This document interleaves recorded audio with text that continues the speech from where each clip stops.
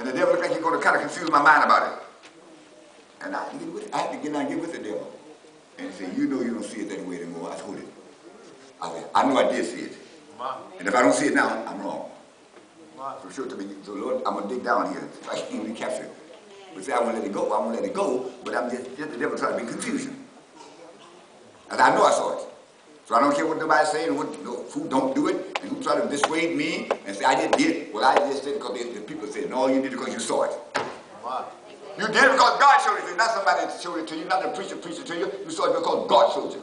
But now you don't want to live up to it, you don't want to do the suffering, so you say, well, I didn't see it in the first place. But watch that spirit. You better watch that spirit when something comes that you don't want to do. Say, I never saw it in the first place. You better pray. You better pray hard. Because I would have gotten you out of it. I would reverse the situation. But you dismissed it because of the sacrifice involved. Let me tell you something about God. When God shows you something in your eternal interest, you should be willing to sacrifice your life. I give up life. There's no this is. I give up my life. Oh, Father. I don't want to get ahead of myself. Let me tell you something. Now the other day, doubtless, that many of you consecrated. You pray with me. Pray hard. And God showed you your place in the body. Lord help. And you declared, well, Lord, if you want to send me to Egypt the rest of my life, whatever, I don't, it doesn't matter to me, just. And you were clear on that, and you declared that. But after a while, your circumstances begin to change, and your obligation begin to grow, and the sacrifice would begin to uh, uh, increment, get, get greater. And now, you don't see how you, you how, how was I feeling when I said that? What kind of meeting was it when I made that declaration? What was the message about? Uh, uh, was it a camp meeting when I made that declaration, when I made that consecration? And now, you God is kind of visiting you, and you see where you reneged on the promise, and now you're trying to see how you felt when you said it. And you can't recapture that feeling. And now it'll be too much to, it'd be too much to make the consecration now because you don't see like you saw it then. At that time, you willing to abandon not only this, that, but the life itself. But now, well, the circumstances are so different now. You didn't do what you should have done. And but here now, let me uh, get a credit to this passage, if you will. Turn to Numbers, chapter number, uh, well, I'm 14, I mean. Numbers 14, begin at verse 39. And read that clearly, and I want you to give your undivided attention.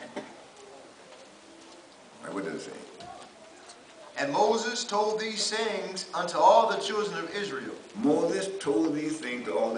children of Israel. And the people mourned greatly. The people mourned greatly. And they rose up early in the morning. Rose up early in the morning. And got them up into the top of the mountain. I want you to listen. Got them up in the top of the mountain. Saying, Lo, Said, Lord, we be here, we be here. and we'll go up into the place Lord, we'll go up into the place what? which the Lord hath promised, To the Lord has promised. for we have sinned.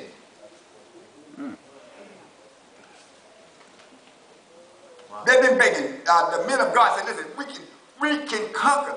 God will take care of enemies. Let's go, let's go, let's go. No, we let grace out. We can't be there. Eat us up. But God has promised us that. And I know we can prevail. I know we can overcome. And we can get to, we can get to the promised land. I know that. No, no, we can't. That's too much for me. I can't do it now because I got too many responsibilities. Better watch yourself. But now they see the eternal blunder that they made. And now they're willing to abandon everything now and, and go. Y'all gonna pray with me? You gonna pray with me? When God showed you about the ministry, and you know, when I get married, I don't know what happen when I get married. Just a moment. And now you see what you're missing, how far you're behind, and the time you got to redeem, and now you start scratching. Lord, I'll go. I'm gonna show you something. Read. Lo, we be here, A, a missionary, perhaps. What? Lord, what? we be here, We be here. and we will go up into the place which the Lord hath promised. Lord, they- they've been begging them, been pleading with them, and show, and the prophet of God and the men of God showed them uh, how that it wouldn't be no risk because God is with you. God is there for you. God will see you through it without fail. And what did they say? For we have sinned. We've sinned. And Moses said, Moses said. Wherefore now do you transgress the commandment of the Lord? Oh, they, wait a minute. Then try to go now. You be transgressing. But you told me to go, Lord. At that time, I told you to go.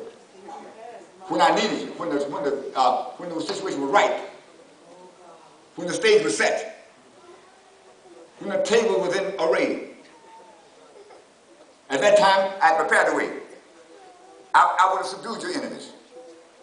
Those that you say are too giants and too much for you, I would have taken care of that. I would have provided for you. I would have prospered you in every detail. I had it already set for you. Come on. Wherefore now do ye transgress the commandment of the Lord? Now, to go now, you be transgressing because God not sending you. God not with you now. Oh, Lord have mercy. When I think about my own case, how did the people always talk me out of it and show me why you got a family, you got a lot of children and all the responsibilities. You got to them to college and they people not to take care of you. And that's logical. Or the, it, it, was, it was definitely logical. I mean, I begin to reason, use human reasoning. Oh yes, I'm, I was as anybody else. And, and, and I, in fact, I delayed for a long time. And first, you and, and try to put it behind my wife because she didn't want to come. Try to put it on her. No, no, you, I can't go without my wife, you know. Off every. And what did God do? Move that out of the way. And she said, we're going, let's go. Now, wait don't push me. now I'm the one that's all random reason. Now she now God done changed up. Now, now I'm, I want to go home. Let me, me go. but now here's the situation. Now, now just suppose I looked around and, and see when uh, when God told me to come, the situation was right. See, there was the circumstances were such that there would have been no difficulty. But now, they said, we'll go. We'll see. We see ourselves. And what did he say? What did he say? But it shall not prosper. See, if you go, you're not going to prosper.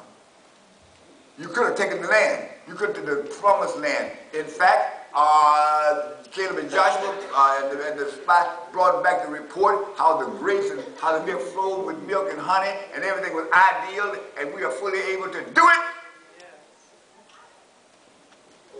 But you have gotten under the spirit of fear and a melancholy spirit and unbelief and you wouldn't do it. And now you see what, what detriment it has been wrought and now you're willing to jump out there and do nothing.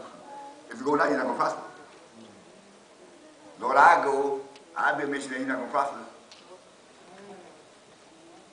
And you're not going to prosper where you are. In fact, you're there prosperity. Who can you now? Just maybe be a red light and one them not to fall, fall into the same fate.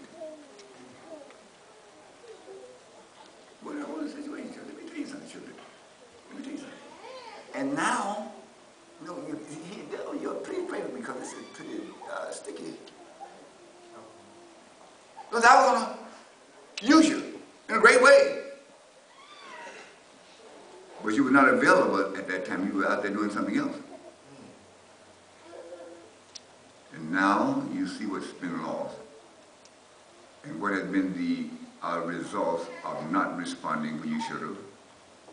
Now you want to get up. I'm ready to go. I'm ready to go. I'm ready to sacrifice anything. Well, it would, it wouldn't be the same now, son. Oh God, help. You're not in position now. Because either you, there's so much involvement now, and your influence is gone because you lost your influence. So now jump and try to do something now and holler out, it won't be the same anymore.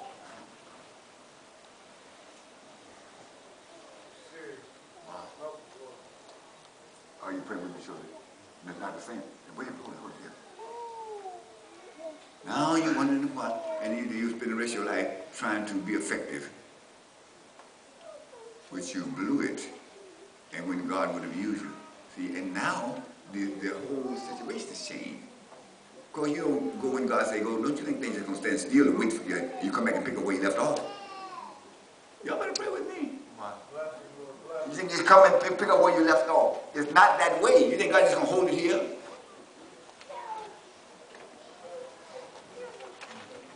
And you're just going to, uh, hold the clock and going to hold the clock like he did in Joshua. No, no, no, no. Time going on. Circumstances going on. Doors are closing. The door that was open for then not open anymore.